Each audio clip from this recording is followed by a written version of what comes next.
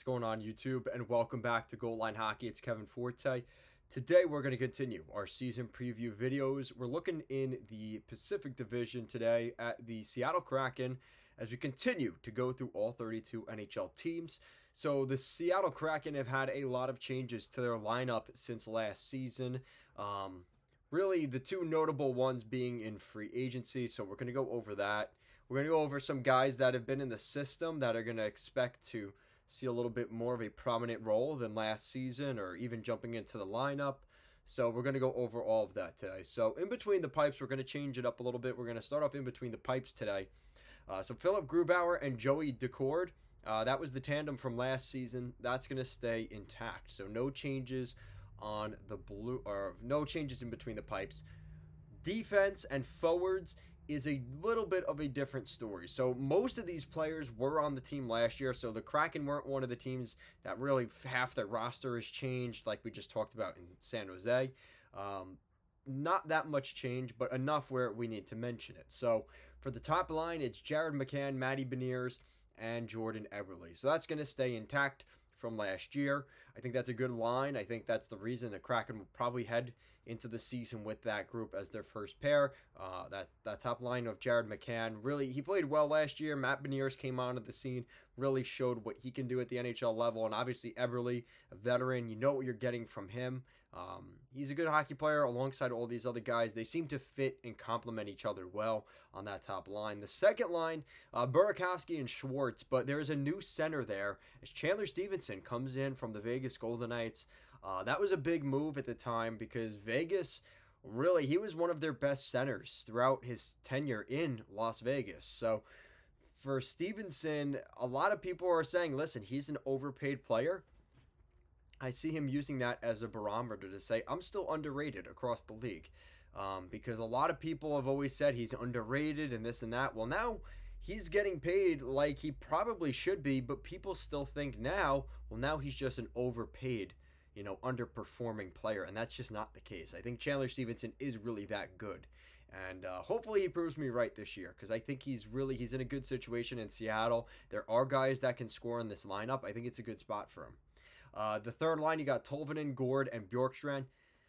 Solid enough. Um, I'd like to see maybe a little bit more scoring consistency from that line, and I think a lot of people felt that way. You know, Tolvanen and Gourde, they're good hockey players, but they've had stretches where you're like, oh, you want a little bit, you know, they'll score a couple goals in a given game and then they'll be quiet for a couple weeks. So I expect that to get a little bit improved.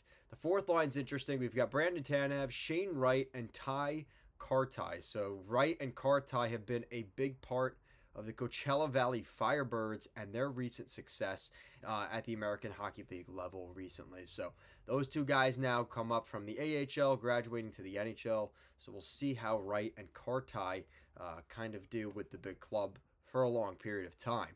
Now the now the defense, um, it's pretty much the same defense. Uh, so it's Vince Dunn and Larsson as your top pair. So basically no change there.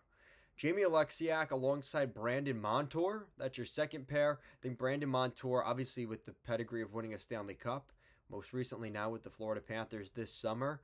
Uh, that's a really big thing here. So I think that they're looking for that leadership and that sort of that experience of winning. And that's the theme with Stephenson as well when you really think about it. You know, Stephenson won the cup with the Vegas Golden Knights a couple years back. I believe Stephenson was with the Capitals in 18 when he won with the Washington Capitals and like I said, Brandon Montour. So there's a lot going on here. Um, and I think that guys like Montour and Stephenson, even though a lot of people might say they're overrated, those are additions that are really going to help them out. Uh, Ryker Evans and Will Borgen is your fourth or your th- your fourth line, your third pair. Honestly, I'd like to see that improve. I think if the Kraken really want to solidify themselves as a legit playoff contender, I think they need a little bit more help on the blue line. But we're going to see. We're going to see what Ryker Evans can do. Uh, Will Borgen, you kind of know what you're getting from him already.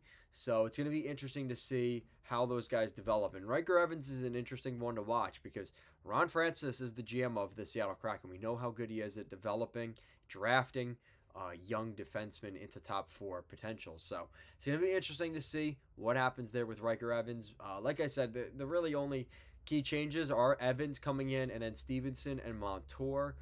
The perception for a lot of fan bases is still that, you know, that, that year that they beat the Colorado Avalanche, they overachieved. And I think the fact they missed the playoffs in 2024 and going into this year, it kind of feels like that, yeah, they made some good moves and they're probably going to have more points than they did last year, but it's not going to be easy because, especially in the Pacific right now, we've seen Vancouver and Edmonton just completely turn it on.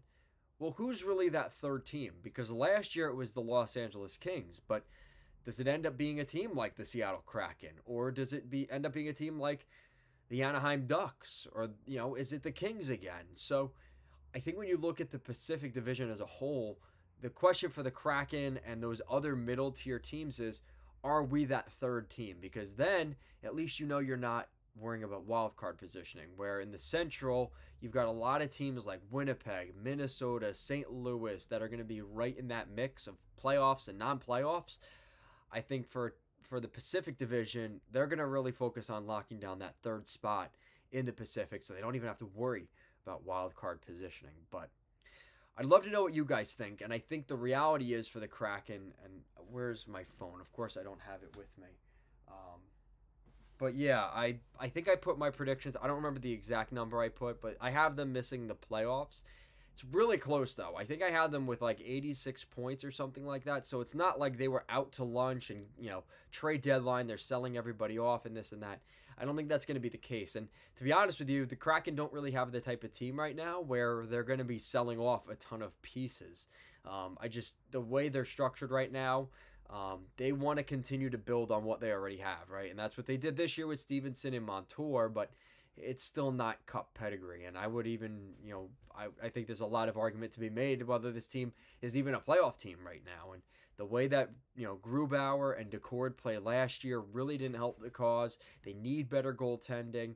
Um, and they need to stay healthy because that was another big thing. You know, they weren't able to stay healthy last season and, and that really hurt their, their chances. I think, you know, they're a little bit, um, what's the word? They're a little bit sheltered in that Pacific division because, you know, the Los Angeles Kings haven't been what we hoped they would become.